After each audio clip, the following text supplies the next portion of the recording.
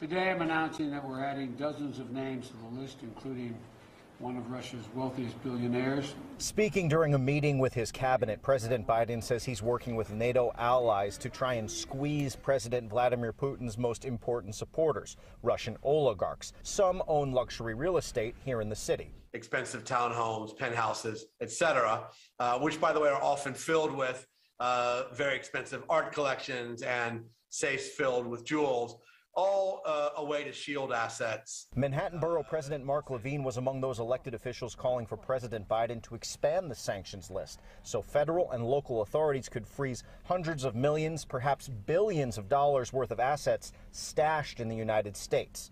But half a world away,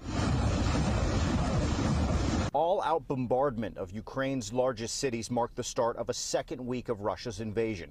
The ground assault has largely stalled, according to American defense officials, but the battering of cities by air is taking a toll, with already about a million refugees rushing to Ukraine's western borders and claiming thousands of innocent lives on the ground. Most civilian casualties were caused by the use of heavy artillery multi-launch rocket systems and airstrikes in populated areas. And the war is impacting both sides, with Russia finally acknowledging hundreds of casualties. Officials for Ukraine and Russia have agreed to create humanitarian corridors for relief.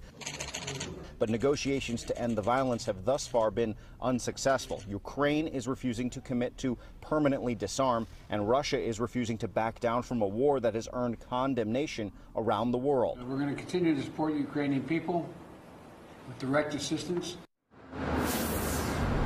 You may be asking yourself, are the oligarchs even in the United States on a regular basis? We spoke with a nearby restaurant that told us they frequently see these wealthy Russian individuals come by for dinner. Live on the Upper East Side, Henry Rosoff, Pix 11 News.